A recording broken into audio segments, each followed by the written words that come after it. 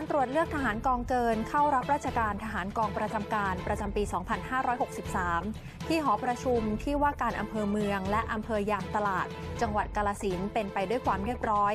ซึ่งได้มีการเน้นย้ำตามนโยบายสั่งการของผู้บัญชาการทหารบก ในเรื่องของการร้องขอเข้าเป็นทหารกองประจำการ